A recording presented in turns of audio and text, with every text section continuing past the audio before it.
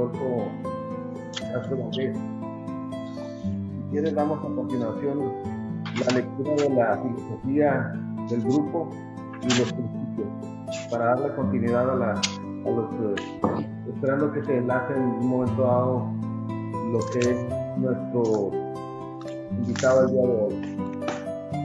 Se escucha muy despacio, eh, Félix. Ok. ¿Ahora se escucha mejor? Sí. Ok. Pues, bueno, eh, le pedí al licenciado Rico que diera lectura a los principios del grupo para que iniciemos el protocolo normal mientras se enlaza nuestro invitado. Con mucho gusto. Declaración de principios. Queremos un país libre en donde el gobierno actúe hasta donde sea necesario y la ciudadanía hasta donde sea posible. Queremos una entidad que se siga distinguiendo por ser la mejor, la más unida y la más progresista. Queremos una ciudad sana y alegre en la que se mantenga constantemente el orgullo de radicar en ella. Queremos una ciudadanía solidaria, participativa y responsable de sus actos. Queremos funcionarios públicos honestos, capaces, dignos y cumplidos.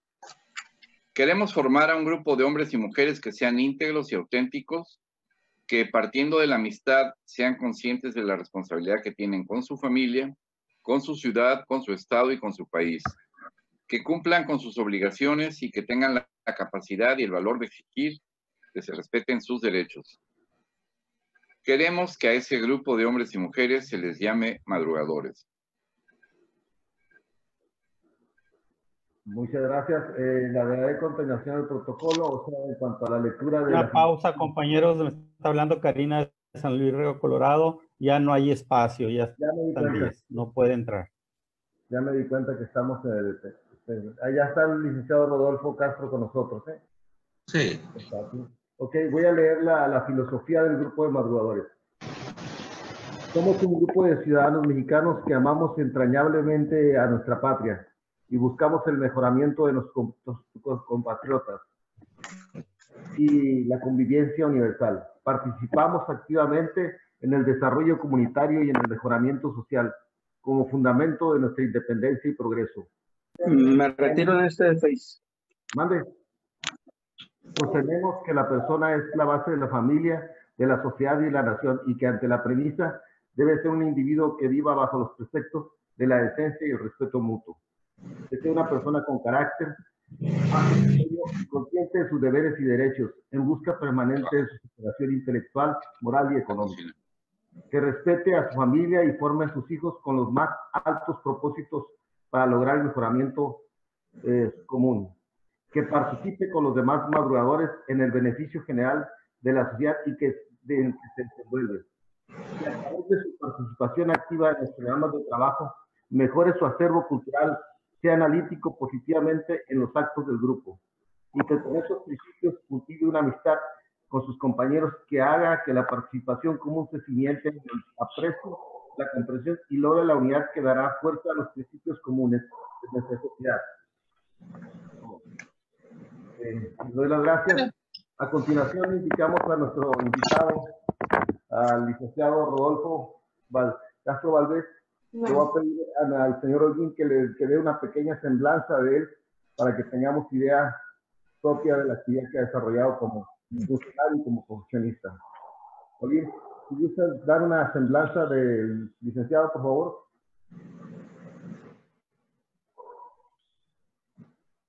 Bueno, Bueno, Holguín, sí. Eh, Holguín, si gustas dar la semblanza del licenciado.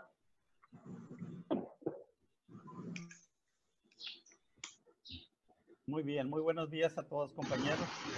El licenciado Rodolfo Castro Valdés eh, tiene maestría en gobierno y administración por la Universidad Autónoma de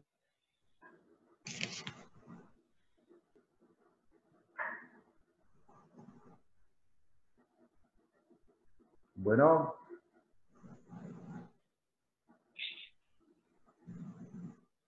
las dependencias de la Secretaría de Hacienda, SAT, Cedesol, Conatud, Infotec, en cargos de dirección financiera.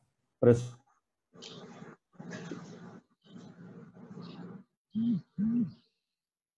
Bueno, Desarrollo Urbano, Capital Humano y Tecnología.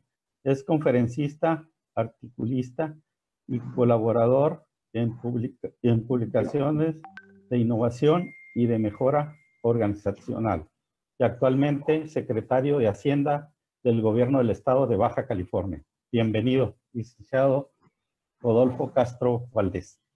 eh, eh, señor Rodolfo Castro Valdés, eh, le indicamos que usted dispone de 20 a 25 minutos, podemos excedernos a 30, para dar, eh, continuar su tema. Al terminar su tema, nuestros compañeros madrugadores le haremos preguntas sobre los temas que usted trata y posteriormente, o sea, pues que estaremos en un momento dado invitándolo a la rueda de prensa con nuestros diferentes medios de comunicación que nos acompañan. A continuación, les doy la palabra y a los compañeros les indico que por WhatsApp pueden hacer algunas preguntas. Eh, Listo para poder dar plática. Bueno, Se escucha muy lento, Félix. se escucha muy lento. Bueno. ¿se escucha Ahí sí.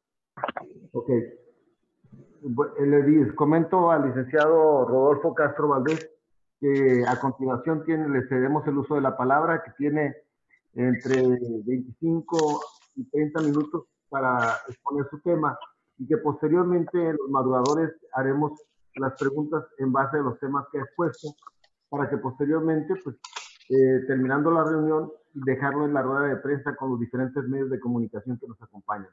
A continuación, le cedo el uso de la palabra al licenciado para que nos dé la exposición de su tema.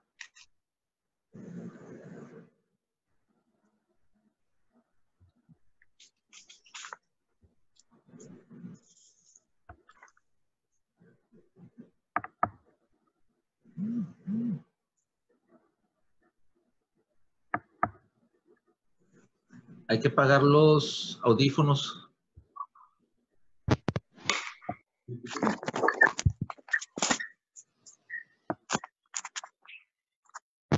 Bueno, bueno, bueno, bueno. Buen día. Ahí. ¿Ahí me escuchan? Bueno, bueno. Buen día.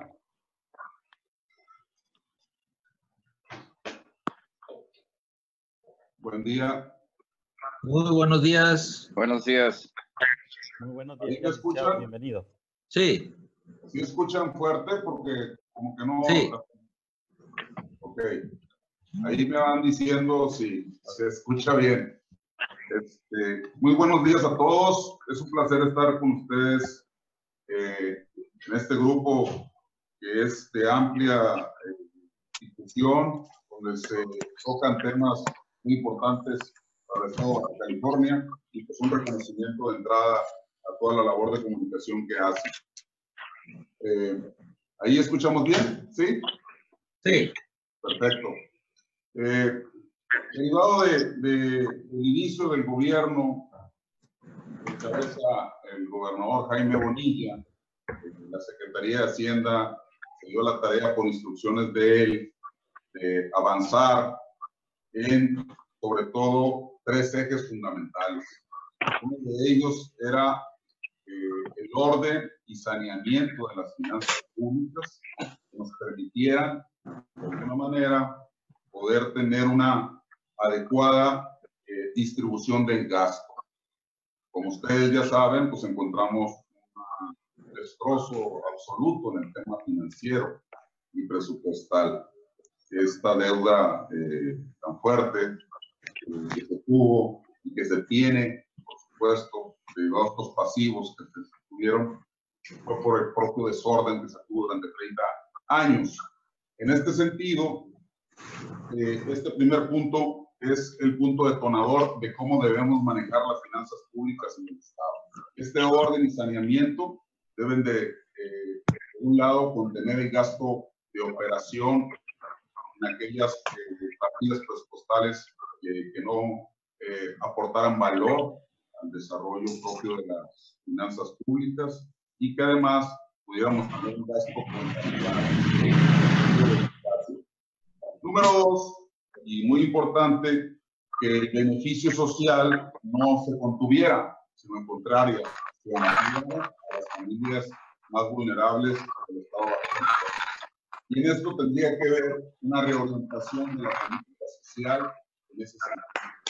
Eh, ustedes bien saben, el gobernador se la tarea en la parte de política social de sentar el precedente de que la educación es una prioridad durante el gobierno y además la parte política social del beneficio, identificando claramente cuáles eran los grupos más vulnerables. Prueba de ello es el tema que hoy en la pandemia, con esta estructura, esa fortaleza, eh, digamos, de, de, la parte social, nos ha permitido este, atender el tema de despensas, alimentos y aquellos eh, temas que van ligados incluso a salud. En este beneficio social incluimos el tema de la salud y de la educación, por supuesto. Eh, la estructura, por supuesto, del sector salud traía o trae problemas de infraestructura eh, Entonces, eh, desde el primer inicio vamos a revisar la tarea de las redes de salud para poder ayudar en este sentido. Y esto nos ha ayudado para el tema de la pandemia. Y en el caso de la educación, ustedes saben que a muchos maestros, a magisterio propios, le había dejado de pagar durante varios años sus prestaciones, sus sueldos como tal. Entonces, desde la primera día de gobierno se atendió a estos grupos que son representativos en el Estado y que son un sector fundamental. Eh, de tal forma que hoy en día eh, llevamos una comunicación directa con ellos. Se ha logrado abatir al 100% el pasivo histórico salarial y estamos en vías de ir solucionando los temas relacionados con eh, finiquitos y el asunto ligado al tema de las jubilaciones. Eh, esto realiza un ciclo eh, yo diría que ha sido muy desgastante porque el gobierno nos lo dejaron de una manera, unas finanzas completamente quebradas. Entonces, ¿cómo garantizar que el gobierno eh, siguiera marchando? Era importante. Y este gobierno en marcha buscó eh, desde el principio una reducción significativa en el gasto público y verificar plenamente cuáles secretarías podrían fusionarse. Ustedes saben que hubo una fusión de las tres secretarías y estas como tal nos han permitido reducir las plazas de confianza sin afectar las plazas eh, ligadas a la. Esto ha fortalecido eh, fuertemente la operación Ahora, en la parte que tiene que ver con el desarrollo, que es el punto 3, eh, ¿cómo garantizar una infraestructura en la cual pudiéramos apoyar la parte de, empresarial? ¿Cómo generar empleos?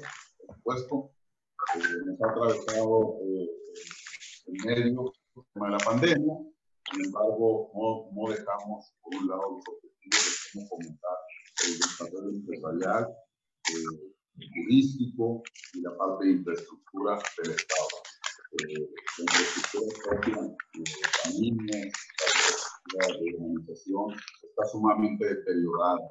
Hemos habido una fuerte en los últimos años en, el tema, en este tema y en este grupo. Entonces, este ciclo que de alguna manera eh, se convierte en un ciclo cerrado y perverso porque la inversión no se fomenta, el gasto está, estaba descontrolado y la parte de, la reorientación de los esfuerzos en materia organizacional del gobierno está eh, sumamente diluida. Entonces, eh, en estos tres ejes hemos avanzado significativamente. Sin embargo, cabe mencionar pues, que las cosas tienen que ir marchando conforme al propio ritmo presupuestal al que nos enfrentamos. Estos primeros meses había que reorientar el gasto y darle un sentido humano y generar una fortaleza en la cual primera el trabajador, en el caso de la estructura burocrática, sintiera con confianza que iban a recibir su quincena, que iban a recibir sus prestaciones básicas, que iban a lograr tener un ambiente de armonía, que el propio gobierno, el gabinete, eh, la instrucción del gobernador era comunicar bien y efectivamente cuáles eran los objetivos y metas que tenía cada mes, cada dependencia. ¿En qué nos centramos? En que estos 100 compromisos que hizo el gobernador desde la campaña, 100 compromisos para estar al 100, permitieran ser una eh, línea transversal en el gobierno, de tal forma que atacáramos la parte de cómo beneficiar mejor la parte social. Y en estas políticas públicas, las diferentes dependencias debían ir trabajando. Y la parte transversal, que fuera el beneficio social, se comunicara muy bien entre el Ejecutivo y sus paraestatales. Pero además, mantener una comunicación fluida con los poderes autónomos. Entonces, esto nos ha permitido pues, tener un sentido de orden, que, era, que es importante hoy en día. De tal forma que la contención propia del gasto que teníamos que hacer durante la pandemia, eh, ha sido importante detectar qué gastos no se tenían que hacer como tal y darle fluidez y no detener este, el tema de operación. A pesar, como ustedes saben, que las recaudaciones de las participaciones federales han caído significativamente. El ciudadano no puede salir a la calle a eh, trabajar por la misma pandemia, entonces el empleo cómo va generando una mayor productividad. Es el gran reto que ha tenido el país como el resto eh, del mundo. Entonces Baja California no es ajeno a esto nuestros ciudadanos, pues había que garantizar este, su seguridad. Entonces las empresas, y que además han sido muy responsables en ese sentido, este, a, la, fecha, los empresarios en el sentido de, de garantizar esta parte salarial. Eh, claro, hay, hay, hay este, por supuesto, algunas cosas específicas que puedan suceder en algunas empresas, pero en general la productividad bajó. Y al bajar la productividad, se caen los impuestos porque la gente no está produciendo. Entonces la recaudación tiende a bajar. Hemos estado en pláticas con la Secretaría de Hacienda permanentemente, con la Secretaría de Economía Federal. En el caso yo como responsable titular del área de, de Hacienda, eh, necesitamos ir previendo cómo se va dando esta caída en la recaudación. Entonces, para poder tener elementos básicos que nos ayuden a eh, evitar un colapso en el caso operacional del gobierno. ¿Qué debemos de garantizar? Y se lo hemos dicho a Hacienda, que la parte de los proyectos productivos, darle la prioridad correspondiente, la parte de inversión en obra, buscar focalizar la manera estratégica de cómo debemos de invertir en, en, los recursos de infraestructura, pero además eh, poder garantizar una mayor eficacia en el gobierno. Eso tiene que ver con el servicio público. Es decir, eh, hoy en día eh, la parte de políticas públicas se centran, por supuesto, en mitigar los problemas que nos están generando la pandemia. Es decir, desde marzo, prácticamente a 15, 16 de marzo, el gobierno, como la, la parte empresarial, diluyó su actividad. Y a la fecha, este, ustedes saben, pues, tenemos el semáforo en rojo, este, con muchas entidades mayores por todas las entidades del país. Y las estrategias específicas, realmente las vamos afinando en cada estado con instrucción de, del gobernador. Eh, para el caso de Baja California, hemos sido muy cuidadosos en verificar que la entrada del gobierno no esté eh, cifrándose en gastos de operación que no se requieren durante la pandemia. Entonces le dimos prioridad a la parte, por ejemplo, de de las despensas, de la focalización de los servicios de seguridad con la Fiscalía, su debida coordinación y, por supuesto, la parte de salud. En este caso, garantizar que la infraestructura nos funcione. De tal forma que bajo estos ejes eh, tendríamos o tenemos que cifrar eh, que las actividades del gobierno sigan funcionando desde el punto de vista financiero y presupuestal. Finalmente los recursos son las venas por donde corren los trabajos de cada gobierno. Entonces, eh, además de esto, se cifra la colaboración, agregaría este punto, la colaboración con los diferentes poderes. Eh, en este caso, con el Congreso ha habido una, una adecuada colaboración. Se ha estado comentando supuesto, nuestros objetivos financieros y presupuestales. Y lo por la parte de ayuntamientos o de los ayuntamientos, también tenemos una estrecha colaboración con los alcaldes. Ellos también, si hay un problema endémico, en el caso económico y presupuestal, pues también tienen un serios problemas en los ayuntamientos del Estado. Entonces, ellos también atraviesan casi casi los mismos retos que tiene gobierno del Estado con sus diferentes eh, eh, tonos y sabores. Sin embargo, la parte económica es, vital. Entonces, ellos eh, tienen pasivos históricos muy fuertes. se tiene un problema transversal también con el ISTECALI. Si pudiéramos tener un diagnóstico muy claro que lo tenemos, hay tres cosas muy importantes en las cuales se basa la sanidad, digamos, o el saneamiento financiero. Uno de ellos es un sistema de pensiones que en muchos estados eh, pasó por una reforma a la ley de los institutos que dan garantizar la seguridad social, por ejemplo, el ISTECALI, en el caso de nosotros, como de California, y el cual el sistema de pensiones quebrado, absolutamente. Nos lo dejaron sin viabilidad. Es esto ha, ocasionado que el gobierno del Estado esté eh, sumando esfuerzos con el para garantizar las prestaciones del servicio. Por un lado, de pensiones, por el otro lado, de, el tema, por supuesto, de las jubilaciones y garantizar la nómina de pensionados sin calidad. Y además, pues como no hay certeza en esa parte y no hay recursos en el sistema de pensiones, pues esto puede eh, afectar el tema de propio desarrollo de servicios médicos del propio instituto, cosa que desde el primer día lo hemos estado eh, trabajando con, ellos. El otro reto, que es el tema educativo, eh, que no es un reto menor. Ahí hemos tenido apoyo de todo el gobierno federal en ese sentido y hemos trazado la federalización de la nómina. Esta federalización nos va a permitir que el gobierno eh, federal nos eh, inyecte mayores recursos en la educativa y haya un orden en el sentido de cómo nos organizamos con las diferentes nóminas, las escuelas, esta diferencia entre el eh, magisterio estatal y federal pues debe quedar armonizado. Y esta armonización para brindar una educación de mayor calidad. Este, en ese sentido eh, estamos trabajando.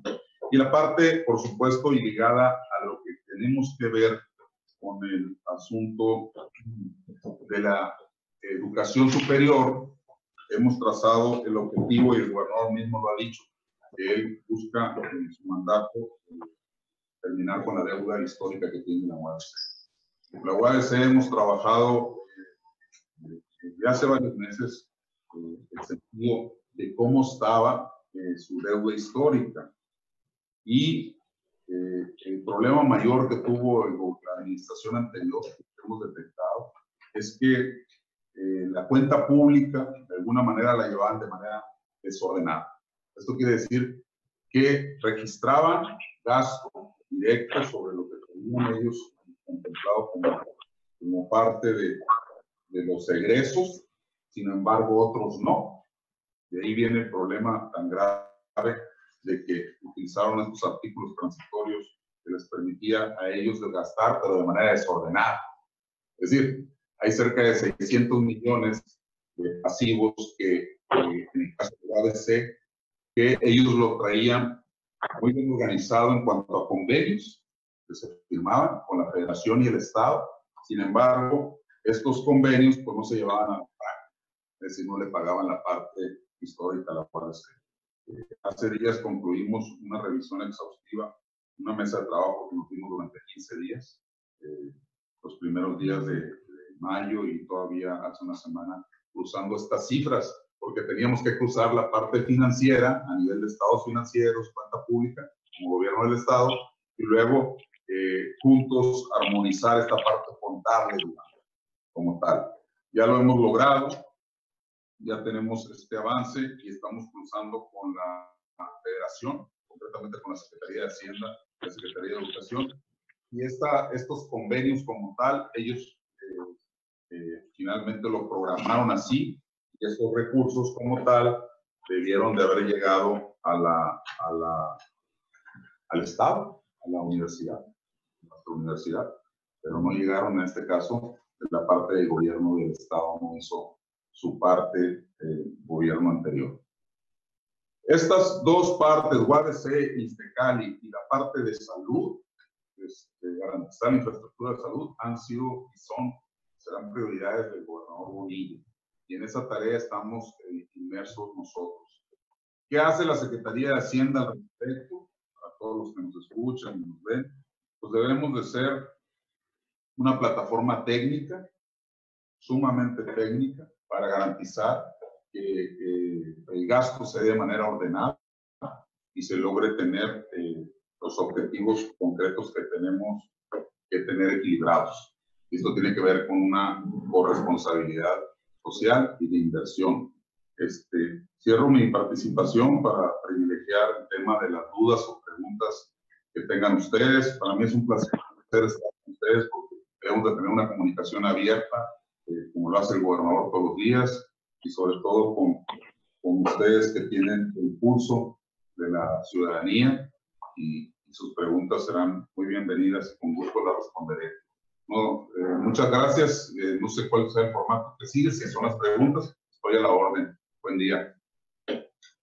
Sí, a continuación eh, los compañeros del grupo, o sea, en su orden, le haremos preguntas sobre los temas que usted también ha tenido la disposición de comentarnos en su plática. Le daré la palabra de inicio a nuestro coordinador para que dé el uso de la palabra con su primera pregunta.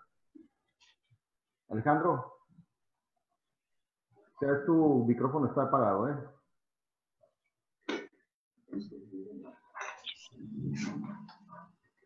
Buenos días.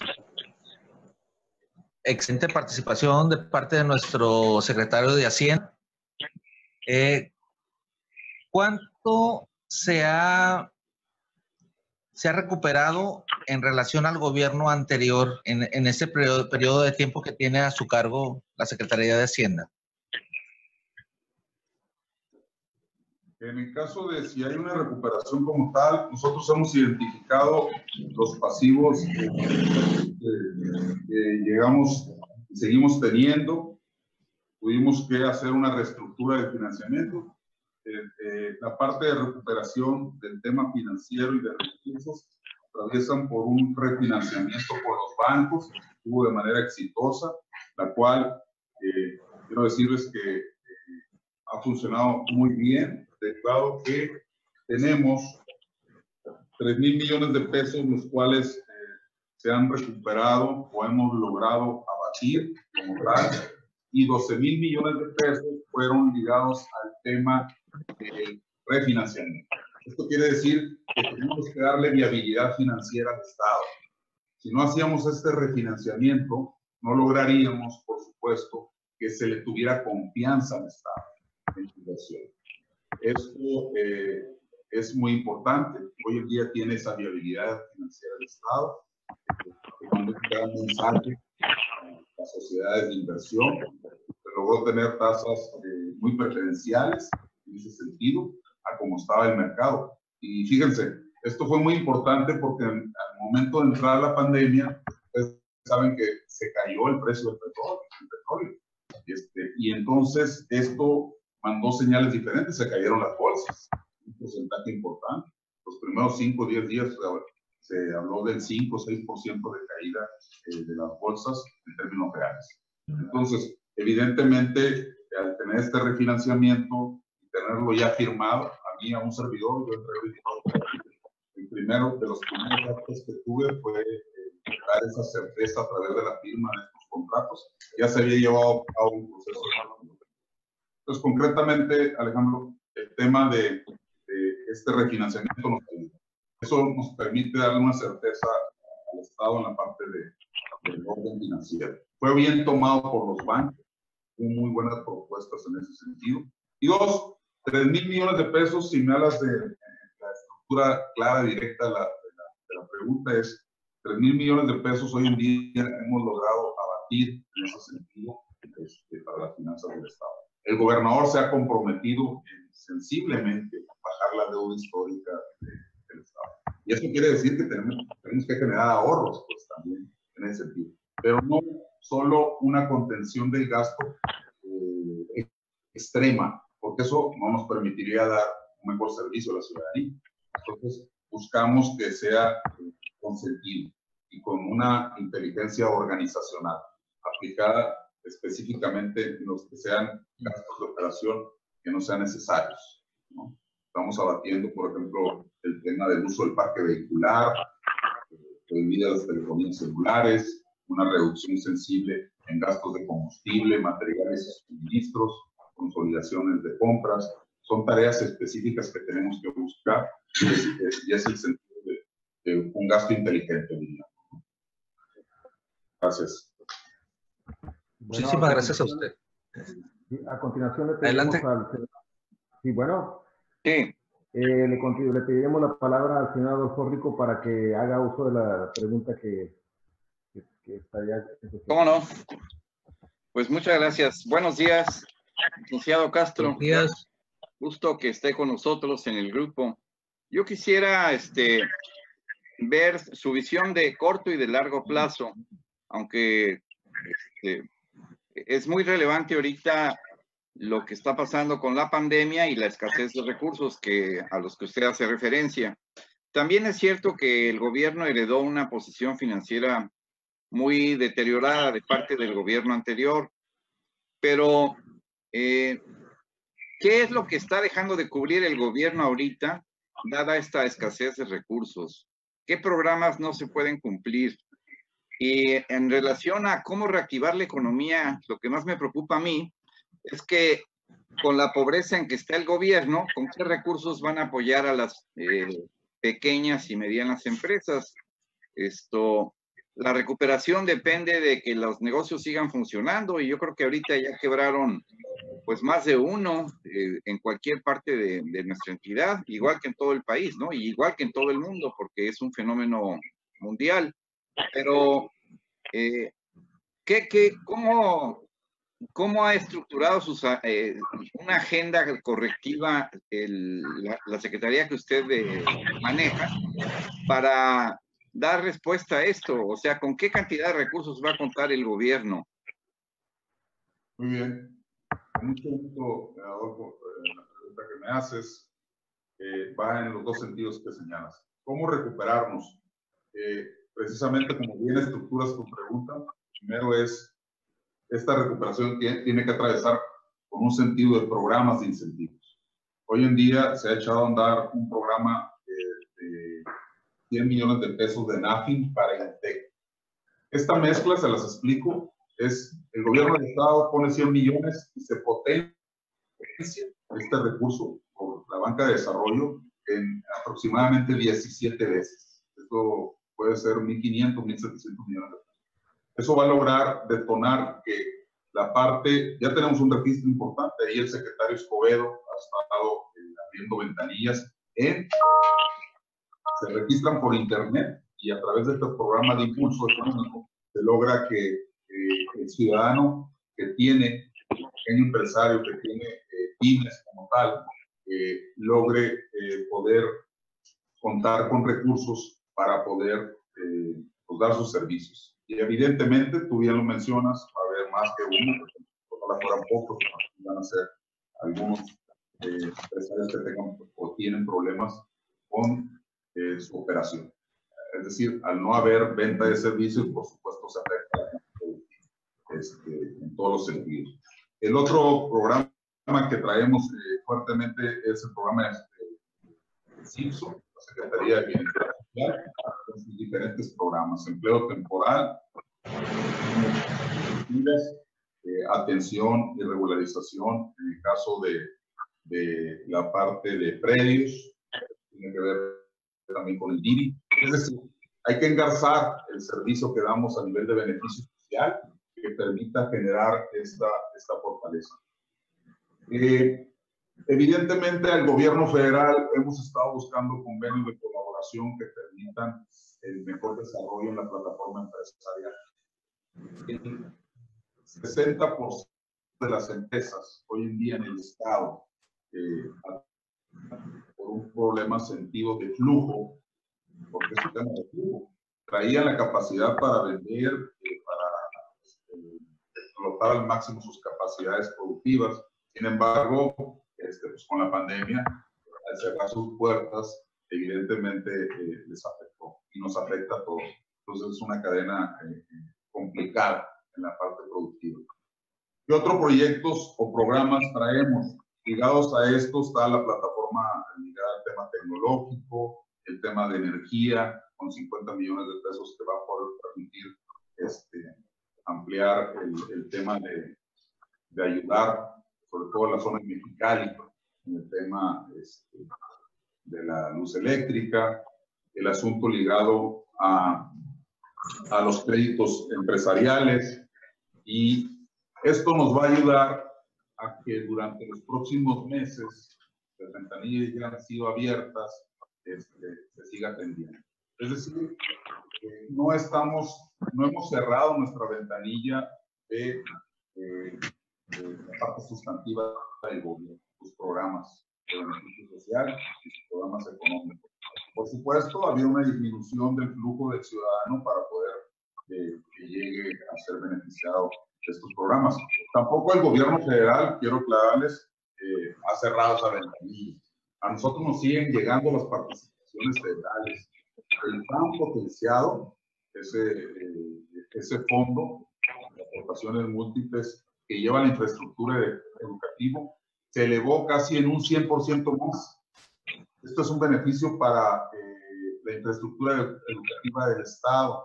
Eh, vamos a lograr que tengamos cerca de 800 millones o mil millones de pesos último cierre que, que, hagan por el plan potenciado este, para obras.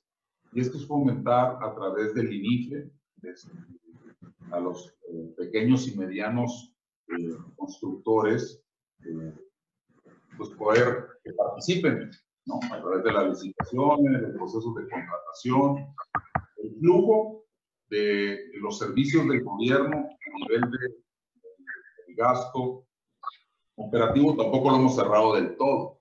El gobierno tiene que seguir trabajando este, durante la pandemia y después de ella como empuje.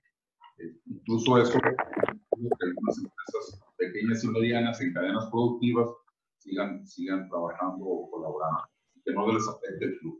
En síntesis, lo que buscamos es que no se detenga la parte eh, de derrama económica desde el gobierno. ¿Y cómo impulsarla? Pues a través de los diferentes eh, efectos. Y sucede un efecto devastador para todo el, para en el caso de Baja California, ya eh, Escobedo había detectado, nosotros de Hacienda también, un flujo importante de inversionistas, incluso de la parte de, la parte de China, ya se habían acercado para una serie de proyectos productivos y todo. Y esta pandemia pues vino a disminuir sensiblemente este asunto. Y empieza a moverse otra vez, empieza a ver grupos empresariales, etc. Entonces, eh, pues nuestra prioridad, que este gobierno, el gobernador Manilla ha sido muy claro, de hecho, primero orden y saneamiento. Segundo, sentido social. Y tercero, garantizar las condiciones para un desarrollo económico. Nuestros eh, años de gobierno, estos dos años de gobierno, vamos a centrar en eso. Si logramos reducir sensiblemente la, la, la deuda, que es en, en, eso estamos empeñados, este, si logramos reducir la carga significativa, significativa que tiene el ISTECALI, pues, nos va a ayudar, por supuesto. Vamos a garantizar un sistema de pensiones a mediano plazo. Y como ahorita a corto plazo, como con este desastre. Y tres, que la educación superior este, tenga una mayor inversión en infraestructura y en calidad educativa, como es el caso de la UAS. Entonces, en estos nodos. Y por último, comentarles, la parte tecnológica y de innovación es muy importante. Ustedes se dieron cuenta con el tema y nos estamos dando cuenta los modelos de aprendizaje cambiaron. Hay una plataforma diferente de ver las cosas. Entonces, el mundo se va a, ahí sí que va a dar otra ola de cambio hacia la innovación y hacia, hacia la parte tecnológica. El gobierno del Estado está cambiando sensiblemente su plataforma de servicios. Hoy en día nos dimos a la tarea de eso, de garantizar los servicios en línea. Gran parte de los servicios de nosotros este, ya estamos transitando a una plataforma digital. Eso nos va a ayudar con kioscos donde podamos trabajar de manera ordenada todos los servicios, como se da, por ejemplo, en el caso del agua. Deberíamos de tener todos los servicios este, en línea. Eso es, una, es un gran reto y que también lo puede cumplir el gobernador con kioscos multimodales de multiservicios que nos permitan tener una mayor cercanía a la ciudadanía. Hoy en día, el, el, tema, eh, el, el clic que tú le das para llegar a un servicio este, debe de mejorar. En vez de tres o cuatro, deben de ser dos clics para que tú estés pagando un servicio y entres eh, amigablemente a una plataforma. Por esa tarea estamos este, con los diferentes organismos. Este, muchas gracias por la pregunta. Ok, eh, a continuación, el señor Holguín. Eh, bueno.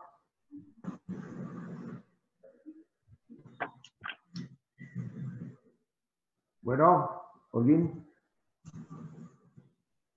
Bueno, yo haré uso de la pregunta, licenciado.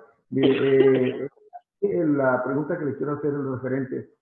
Hay una serie de proveedores, estamos hablando de sesenta y tantos proveedores, y hay más de 13 mil o 14 mil maestros que están siendo afectados en cuanto a que el pago de sus servicios que ellos se les descuenta vía nómina no está siendo acreditado a las compañías con las que ellos subieron su, su descuento.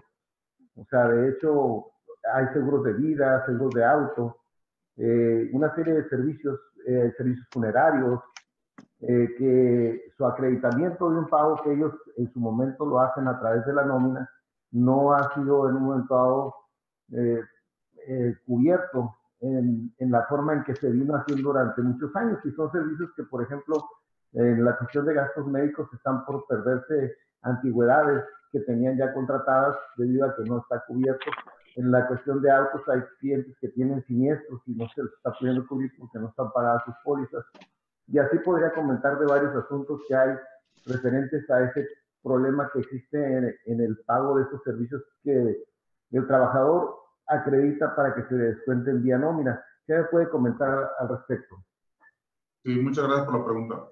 Eh, efectivamente, eh, históricamente dejaron eh, el gobierno anterior una gran deuda ligada a la parte salarial, en el caso del magisterio, y de los burócratas. Estos dos ejes fundamentales para el gobierno, los burócratas y el magisterio, han sido los más afectados en este, en este problema de desastre económico y de gobierno anterior. Estos dos ejes se les afectó no nada más en el sueldo, sino las prestaciones que retenía eh, el gobierno del Estado para entregársela a los gobernadores bajo sus diferentes modalidades quedó sumamente dañada. Entonces, las retenciones de fondo de ahorro, el tema de, evidentemente, prestaciones eh, como los seguros, este, muebles, mobiliario, las diferentes modalidades de retenciones, eh, habla de que cerca de 265 millones de pesos solo del 2019 no se entregaron, no se canalizaron. Entonces el magisterio con sus fondos de ahorro, fondo de retiro, eh, mutualista, el tema de seguros, el tema, por supuesto, de los diferentes servicios que prestan los proveedores, pues no se entregó. Se lo llevaron, pues. Es decir, y, en ese sentido eh, se usó para otros gastos. Eh, ¿Qué sucede con esto? Evidentemente le dimos prioridad nosotros al pago de la nómina. Hoy en día nuestro mayor compromiso es que le llegue puntualmente y si es posible dos días antes al burócrata, al maestro. Este, y las retenciones las estamos atendiendo. Hemos estado pagando alrededor de 80, 100 millones de pesos en sus diferentes modalidades a la parte del magisterio, a la parte de los burócratas y tratando, buscando regularizar. ¿Qué mecanismos de solución tenemos para en, este, en estas deudas de pasivo histórico? Porque si se dan cuenta, hay 12 mil millones de pesos de refinanciamiento. Lo demás es los finiquitos del magisterio, las retenciones, efectivamente. Eso es lo que nos suma a los 32 mil millones. Hoy en día estamos hablando de 29 mil. Entonces hemos estado teniendo que afrontar con diferentes fuentes de financiamiento y recortando el gasto, los pagos de esto. Nosotros esperamos que este mismo año logremos ya abatir esta parte. ¿Con qué otras fuentes de financiamiento tenemos? Y es bueno comentarlo. ¿No? Eh, lo que no lograron vender los panistas fue, eh, y porque tenían el Congreso seguramente en contra, fueron aquellos activos, múltiples activos de terrenos, de diferente tipo de terrenos. Es un activo que tiene el Estado. Y no, no lo pudieron hacer porque se les atoró su proceso de desincorporación. ¿verdad? Entonces, estamos identificando estos eh, bienes inmuebles y esta fragmentación total en todo el Estado. Entonces, se pueden dar cuenta que hay inmuebles por aquí, por allá, y unos muy deteriorados. No terminaron los edificios de Tijuana, de la Encantada, del sistema de justicia penal. Por eso la Fiscalía hoy en día tiene problemas para el ciclo del servicio como tal.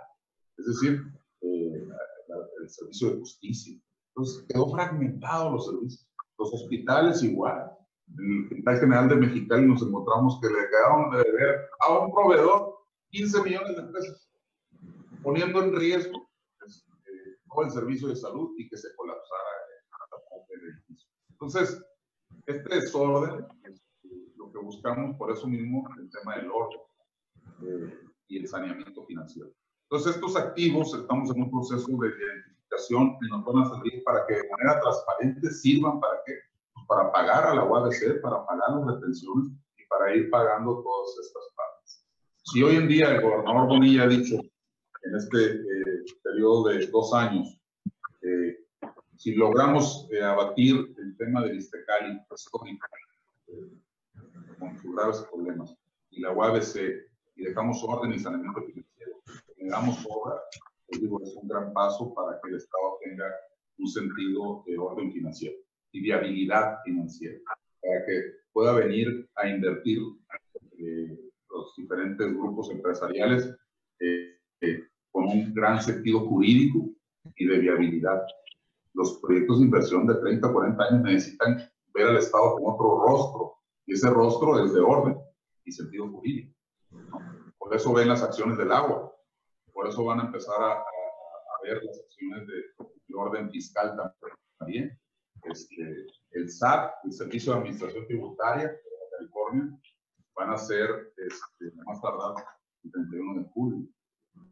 Esto nos va a ayudar a tener finanzas sanas, pero también a que la gente eh, sepa que eh, el gobierno está buscando el orden y también la transparencia.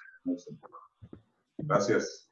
Bueno, a continuación le doy la, cedo la palabra a Luis eh, para que haga su pregunta. Bueno, Luis. Sí, gracias, muchas gracias. Yo, secretario, muy buenos días. Qué bueno que esté con nosotros. Yo soy Luis Alberto Yamamoto. Eh, no cabe duda de que esta situación en la que nos enfrentamos ahorita no tiene, no tiene este, precedente. Cierre de empresas, pérdidas de empleo, pérdida de la capacidad económica de todos, de, de, de muchos mexicalenses, de muchos baja californianos. Tiene el, el, el gobierno, este, obviamente los ingresos que tiene es a través de los impuestos, va, a haber menos recaudación. ¿Tiene el gobierno pensado, sé que es complicado, pero tiene pensado disminuir los impuestos estatales en lugar de incrementarlos?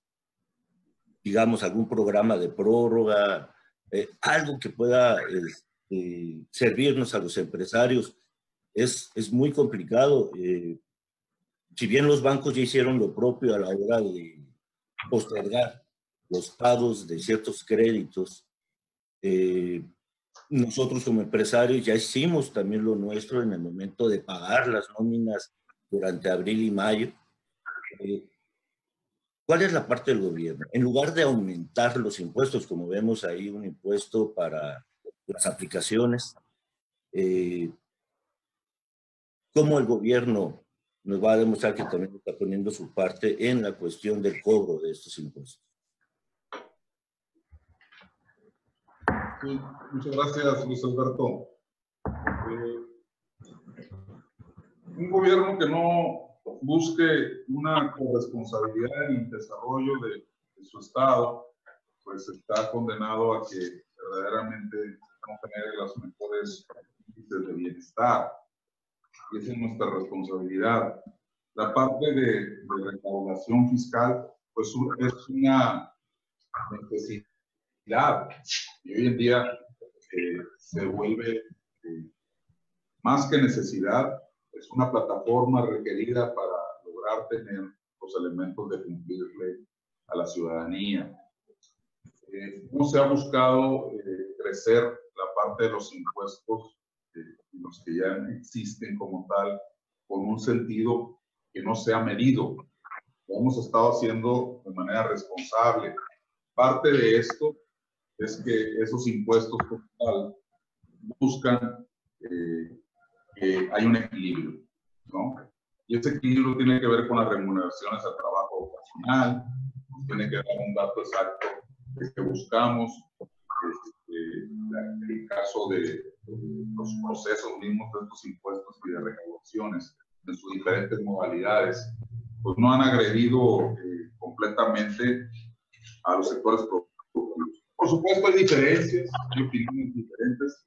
a a la gente, al ciudadano común, pues de una manera a lo mejor no le, no, no le gusta eh, adquirir estas obligaciones, por supuesto, porque podrían en esta situación de pandemia, como bien menciona Luis Alberto, eh, problema. En el, tamo, en el tema de estas prórrogas eh, como tal, nosotros hemos estado verificando las estadísticas de cómo nos ha ido con el tema de la recaudación y hoy en día sí les puedo decir que a otros estados eh, no les ha ido tan bien o la contención esa misma de, de, la forma en que estamos haciendo la parte de esa contención de gasto con respecto a los impuestos, con las recaudaciones, las hemos buscado equilibrar. Y este equilibrio tiene que ver con que la caída en las participaciones federales ha sido alrededor del 9 o 10% en términos absolutos, y a nosotros eh, en el caso de Baja California, no hemos tenido caídas significativas, ¿no? Estamos eh, mañana eh, viendo en el caso de un sector que puede decir que está dentro de la vulnerabilidad económica de los vehículos de 2010 hacia abajo. Vamos a, a dar una prórroga, ¿no?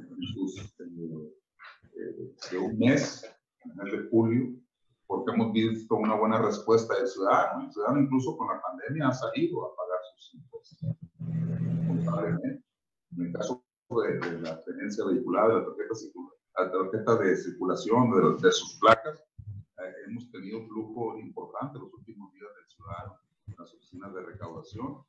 Y en el caso del 2010, hacia abajo de los vehículos, eh, de las familias baja californianas, van a tener un poco más para hacer el pago de sus contribuciones. En el caso de, de, de, de las plataformas ligadas al transporte, evidentemente ahí el grupo de movilidad, de creación, ha fijado eh, eh, una corresponsabilidad con el ciudadano que usa. Pero no es la afectación, por ejemplo, en la forma en que comunicamos lo del tema de Uber, las plataformas digitales, pues hay un registro y un pago único no se les va a grabar, por ejemplo, el, uso de, de, esta plataforma pues, en cada viaje de alimentos,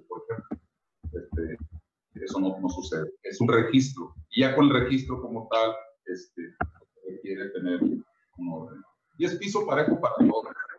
La verdad es que si eh, el asunto ligado a los transportistas, estamos buscando con este tipo de movilidad, sea totalmente transparente. El gobernador Bonilla ha recibido a todos los diferentes grupos y ha sido muy claridoso en ese sentido. No se requieren grupos este, que afecten el propio interés, el propio interés de los transportistas. Lo que se busca es eh, ser transversales y piso parejo.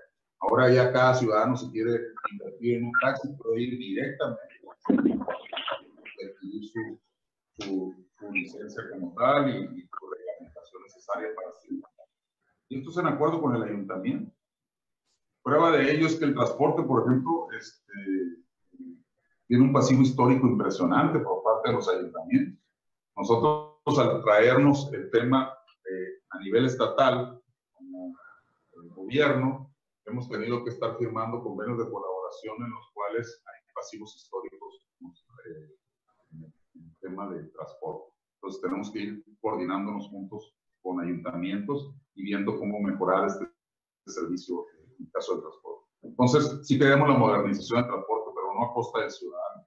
Al contrario, es mejorando el servicio, teniendo una buena comunicación con ellos. Este, y en esa tarea estamos. Este, muchas gracias, Luis Alberto, por tu pregunta.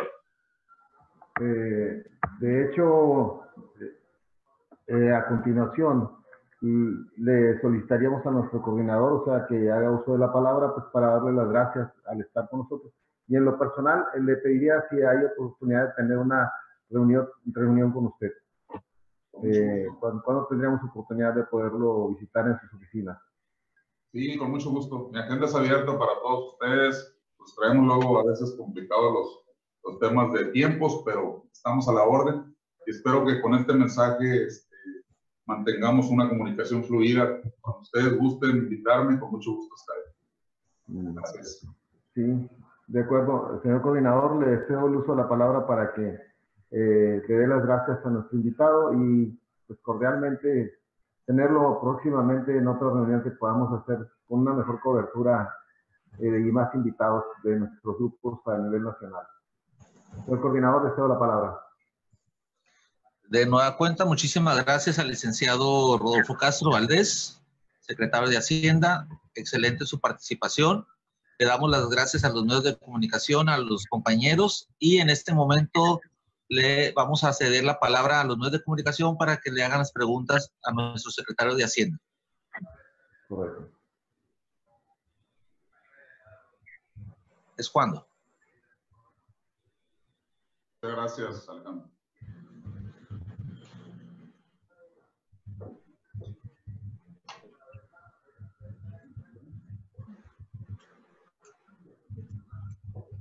Félix.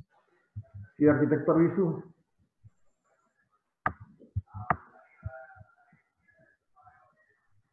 Yo creo que debe tener algún problema con la señal.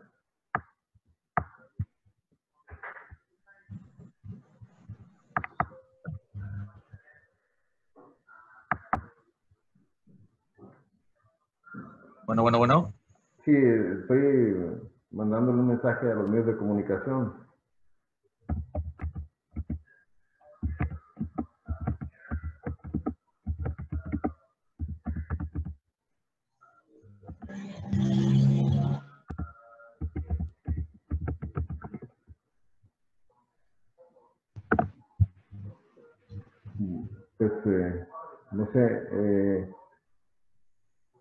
Alejandro, o sea, ahí, no sé, en cuanto al proceso de los medios de comunicación. Eh, bueno, este, si no hay más, este, cerramos la, el día de hoy lo que es la, el foro. Buen día. Buen día.